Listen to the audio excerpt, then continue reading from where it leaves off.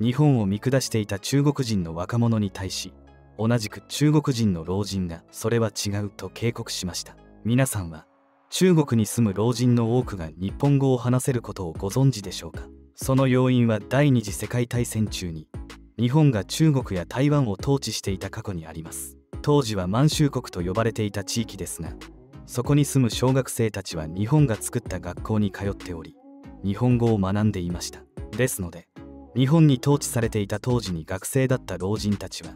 日本語を話せるというわけです。実際に日本語教育を受けた台湾に住むおばあさんの話では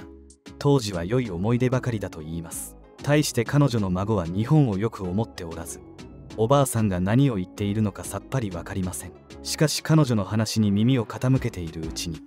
日本に対する悪いイメージが払拭されていきます。果たしておばあさんは統治時代に日本が建てた学校でどんな体験をし何を伝えたのでしょう。今回は中国の老人が過去に受けた日本語教育に感謝する本当の理由とそれに対する海外からの反応をご紹介します。日本に統治された過去を振り返る中国のおばあさん。今回紹介するのは中国の吉林省長春に住むおばあさんのエピソードです。この吉林省とは中国北東部に位置しており東部はロシア。南東部は北朝鮮と接しています。人口は2407万人ほどの地域でうち漢族人口は2199万人。少数民族は209万人です。そして吉林省にある吉林市と周安市は国家歴史文化名城に指定されており歴史的価値や文化的価値が高い地域としても知られています。そして首都である長春には国立の研究所が多数設置され中国有数の研究学園都市と呼ばれているそう。中には中国最大規模を誇る吉林大学も含まれ科学技術人員の比重は中国でもトップクラスです。また新疆時代に満州国の首都であったことから市内には当時の建築物が多く残っているそうですね。そんな長春に住むおばあさんには高校生の孫娘がいます。名前は空心。彼女は将来歴史の先生になるという目標を掲げ日々勉強に勤しんでいました。どうやら自宅の近くにも多くの大学が存在しておりここが教育の根幹となる地域だと日々感じているそう。そしてもう90歳を超えているおばあさんは空心を愛しており2人とも近所に住んでいます。そんなおばあさんはもともと台湾に住んでおり昔は日本が建てた学校でさまざまな国の言語を学んでいました。ですから日本語の読み書きもできるようで空心は博識な彼女を心から尊敬していました。おばあさんの話によると第二次世界大戦当時の長春は日本統治下だった満州国の首都だったため当時は良い思い出だけでなく悪い思い出もたくさんあると言います。しかしおばあさんは中国人の中でも日本語が得意だったため通訳の仕事や書類の翻訳など仕事の幅は広く食いぶちには困らなかったそう。そんなおばあさんは歴史や文学にも精通しており文字通り何でも知っている彼女に空心は憧れていました。しかしこれほど知識を蓄えられたのは商売の取引相手との通訳をきっかけに身についたものだとおばあさんは語ります。ここで空心にとある疑問が浮かびました。なぜなら空心が歴史の先生になるため必死に学んでいた知識とおばあさんが語る歴史にズレが生じていたからです。空心が学校で学んでいた歴史では日本は凶暴で野蛮な国とされており先生方も口を揃えてそう教えていました。しかしおばあさんの話からは日本に勉学を教えてもらえてよかったというような雰囲気が伝わり空心は違和感を覚えたのです。先ほども説明した通り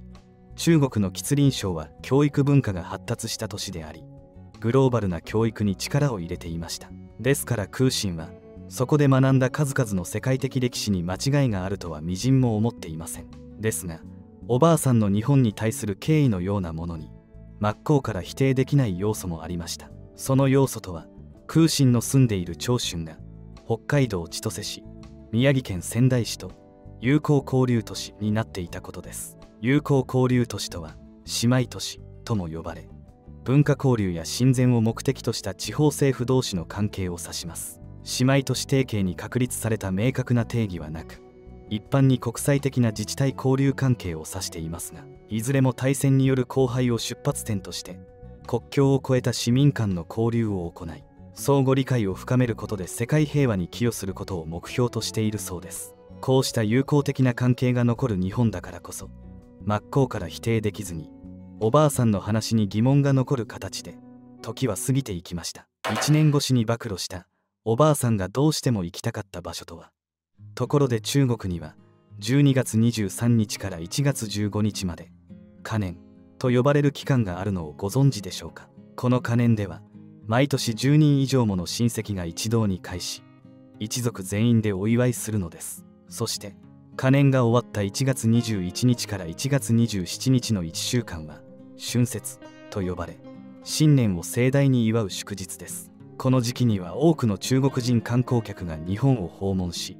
ニュースで取り上げられることも多いかと思います。ただ中国で祝われる春節の伝統的な習慣や連休期間まで理解しているという方は少ないのではないでしょうか。それでは簡単に春節可年の意味や連休期間。人々の過ごし方から縁起の良い食べ物を紹介したいと思います。可年には年越しの意味と合わせて想像上の動物である年をやり過ごすという意味があり言い伝えによると昔々中国では1年の終わりに年が現れ人々や家畜を食べるなどして恐れられたそう。人々はこの年をやり過ごすため年が嫌がる赤い色の飾り付けをしたり爆竹で大きな音を出して追い払ったりしました。諸説あるそうですがこれが春節の由来の一つとされています。そして日本で春節といえば大勢の中国人観光客が日本を訪れる期間というイメージがありますが旅行に行く人ばかりではないそう。まるで日本の正月休みのように帰省して家族と過ごすという方も多くいます。例えば都市部から実家へ帰省したり家の大掃除をしたり年越しそばのような縁起物として餃子を食べたりして過ごすそうです。また中国では春節の連休を利用し多くの人が帰省することを民族大移動と呼んでいます。公共交通機関は大混雑となり高速道路の渋滞で車が全く動かなくなることも珍しくないとか。そして高速道路では体をほぐすためにダンスを踊ったりバーベキューをして待ったりする姿も見られるそうです。そんな休暇が推奨されるこの期間に海外旅行へ赴いたり親族で集まる家族も多いのですが空心一家も例に漏れず可年の時期には親戚一同が集まり楽しいひとときを過ごしていました。しかしそこで驚くことが起きたのです。なんと今まで一度も自分の願望を主張しなかったおばあさんが初めてみんなにお願いをしたのです。どうやらおばあさんはこれまでの長い人生を振り返り自分がいかに充実した人生を送ってきたのか気づいたそう。しかし今は杖がないとまともに歩けません。そうした状況から少しでも動ける今のうちにある場所へ訪問したいというのです。おばあさんの熱弁を聞いてその場の誰もが彼女を応援し快く承諾する雰囲気でした。もちろん空心もおばあさんの意見を尊重したいと考えています。しかしおばあさんが行きたいと言った場所は台湾だったのです。どうやら台湾にある自分の母校に訪れ幼い頃の思い出に触れたいそう。その言葉を聞いた親族。そして空心は何も言えずに黙り込んでしまいます。というのも現在の台湾と中国は政治的に難しい立場にありかなり行きづらい場所だったのです。台湾に行くとなればさまざまな手続きをする必要があり中国からの厳しいチェックが入ることもあります。ですので親戚一同は国に目をつけられるリスクを恐れ黙ることしかできなかったのです。しかしどうしてもおばあさんの願いを叶えたいと思ったシンは私おばあちゃんの通っていた学校を見てみたい。と勇気を出して口に出しました。それを聞いた空心の両親はとても驚いた様子ですぐにダメだと否定しました。しかし空心が持つおばあさんへの愛情はとても深く両親にこう返します。実は私も一度台湾に行ってみたいと思ってたのせっかくの連休だし一緒に行こうよ。おばあちゃん行くなら旅行の計画も立てなきゃね。誰か一緒に行ってくれる人はいないの。空心は親戚に呼びかけましたが彼らは目をそらしてしまいます。するとおばあさんは実は去年も言い出そうとしたけど言えなかったこと。そしておばあさんにとって空心をはじめ家族をどれだけ大切に思っているかを話してくれました。そしておばあさんはおもむろにポケットから小さくボロボロな一つの紙切れを出します。その紙切れはなんと台湾の地図でありしかも何度も触った形跡が見て取れます。それほどまでおばあさんは台湾へ行きたかったのかとその場の全員が心を痛めました。そしておばあさんの願いは受け入れられ空心と一緒に夢にまで見た台湾へ行けることに。ちなみに長春から台湾までは飛行機で2時間半とそれほど遠い距離でもなく時間的にも問題ありません。行きの飛行機の中ではおばあさんはとても楽しそうでひたすら空心に幼き頃の思い出を語りました。当時のおばあさんはとても貧乏であり靴すらまともに買えずそれゆえ裸足で畑仕事に取り掛かることもあったと話します。しかし台北に住む女性の半数ほどは洋服を着ており中には和服を着てる人もいたそうです。それを見たおばあさんはその美しさにとても感動してしまいいつか私も着てみたいと強く思ったといいます。さらには日本の和服以外にも風通しの良い台湾服も流行していました。そして治安も素晴らしかったそうで夜中に家のドアを開けっぱなしにしていても問題がなかったといいます。そこまで犯罪が少なかったのは日本の厳しい統治のおかげであり厳しくとも公平な環境だったと語ります。これを聞いた空心は統治されているにもかかわらず犯罪が少なく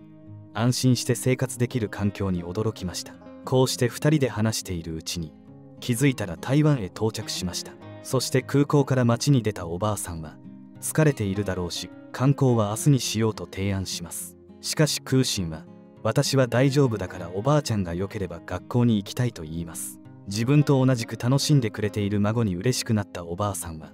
すぐにタクシーを捕まえ台北市へと向かいました。その道中でもおばあさんのテンションはとどまらず昔の友達の家を見つけたり昔お世話になっていた日本人の家が変わっていたりと目を輝かせていたそうです。その後タクシーを降りて街を歩いていたおばあさんと空心ですがとある場所で立ち止まります。そこには大きなビルが立ち並んでおりおばあさんはここで生まれ育ったのだと語り街並みが変われど学校への通学路は変わっていないことに感動していました。そしていよいよ2人はおばあさんが昔通っていた小学校にたどり着きます。そこは空心の想像を超える大きな学校でした。おばあさん曰く日本が統治している時代は国立学校だったそう。その後は2人でゆっくりと校庭を散歩しポツポツとおばあさんは話し始めます。当時は運動会があってね私は徒競走で1位だったんだよ。そして綱引きや体操もあってねみんな裸足で元気に駆け回っていたんだ。こうして校庭を眺めていると楽しかった思い出がどんどんと蘇ってくるものだね。そしてお世話になった恩師の一人として佐々木先生についてのお話を空心に聞かせます。おばあさんによると佐々木先生はとても優しい男性教師で授業が本当に楽しかったそう。また当時多くの子どもたちは午前中のみ学校で授業を受け午後は家に帰って家事を手伝っていたといいます。そしておばあさんも午後には家に帰って畑仕事や家の手伝いをしていたそうですがその最中でも常に学校での勉強や行事が気になっていたそうです。今になって思えばおばあさんは家よりも学校で友達と多くの時間を過ごしたかったのでしょう。午前しか参加できない学校に半ば諦めていた当時のおばあさんでしたがそんな時佐々木先生が家まで来てくれたそう。そして佐々木先生は慣れない台湾語で彼女のお父さんを懸命に説得しなんとか午後も学校に預けてほしいと頼んだのです。そして佐々木先生は続けてこれからの時代に日本語はとても重要でその中でも彼女は覚えが早く優秀だと説明しました。その努力の甲斐もあっておばあさんは一日中学校で勉強することが叶ったといいます。おばあさんは本当に先生が大好きで勉強にも精を出し休みの日でも学校へ行きたかったそう。そろばんも習ったようですが特に彼女が力を入れたのは日本語の読み書きでした。もともと語学の才能があったこともありおばあさんは順調に日本語を身につけていきます。そしておばあさんは日本が台湾を統治することになってさまざまな変化が現れたことも語ってくれました。例えば台湾の経済基盤は日本によって形成されたことや日本が率先してダムを作り水害を抑えてくれたこと。ちなみにこれは水砲ダムのことで大緑港にある水力発電用ダムです。このダムは日本の統治時代当時東洋一の出力70万キロワットで計画され1937年に着工。そして1941年に10万キロワットの発電を開始しました。ダムの高さは約106メートルにも及び淡水面積は琵琶湖のほぼ半分に相当します。完成時は東洋一の規模だった水砲ダムですが今でも本体の大きな改修なしに北朝鮮の重要な電力の供給源となっているそうです。実際に2018年時点でも北朝鮮は発電の多くを本ダムの水力発電に依存しています。しかし中国も北朝鮮も国家機密扱いで観光地化はしておらず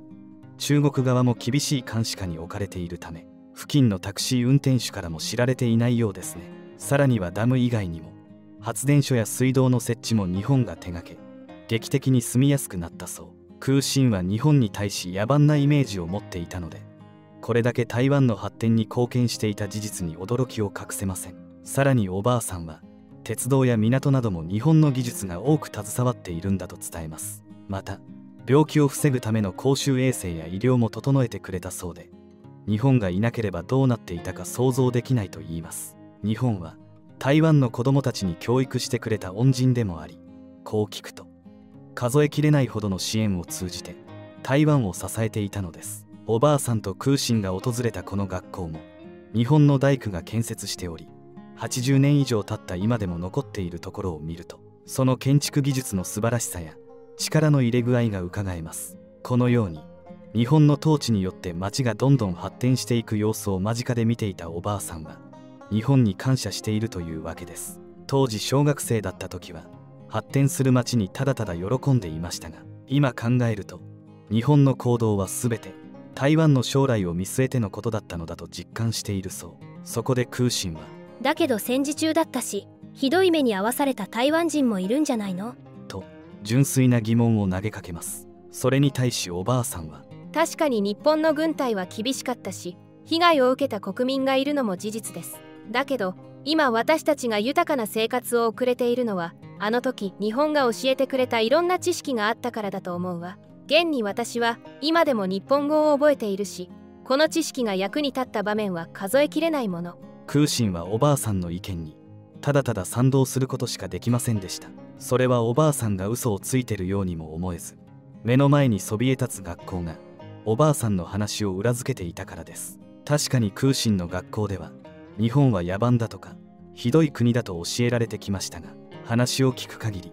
学校での教育が絶対とは限らないと学びました。こうして学校を訪れた後は予約していたホテルに向かい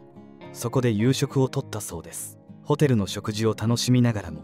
おばあさんは台湾で過ごした思い出の数々を語ってくれました。そしておばあさんは涙を浮かべて空心に語りかけます。私が生きている間にもう一度生まれた場所と育った学校を巡ることができて本当に幸せだわ。これも空心。あなたのおかげで叶った夢なのよね。本当にありがとう。空心は恥ずかしそうにしていましたがおばあさんがやたらと神妙な顔をするので少し気になりました。またおばあさんはいつも感謝を述べてくれますが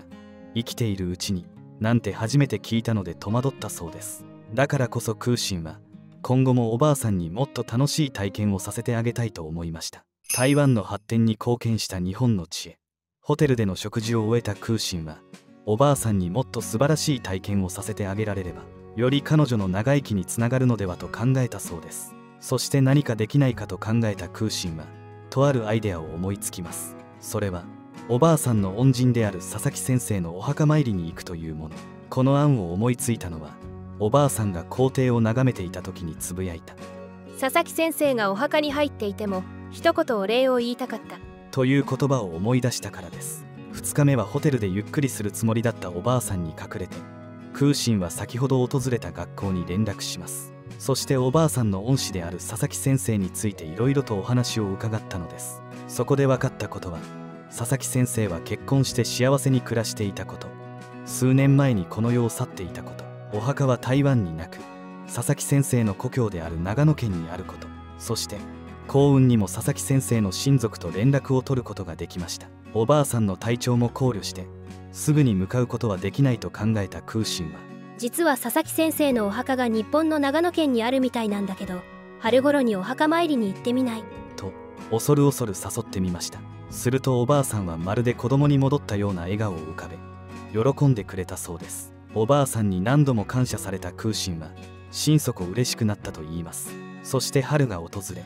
2人は日本の長野県を訪れました。彼女たちは事前に聞いていた佐々木先生のお墓に到着。墓前にお花を供えてお線香をあげた後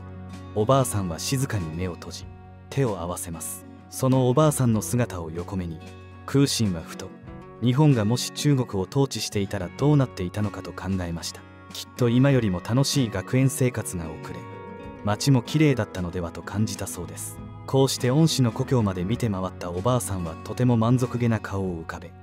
改めて空心に感謝を述べます。ここまでおばあさんに感謝される佐々木先生は素晴らしい人格者であり彼女の運命を大きく変えた日本人だということは紛れもない事実でしょう。そして実際に統治された時代を生きていたおばあさんから